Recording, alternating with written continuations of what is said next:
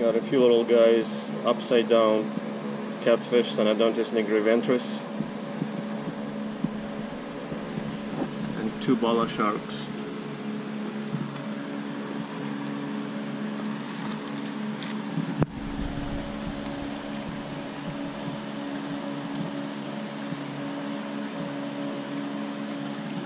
Five fifty, it's a good price.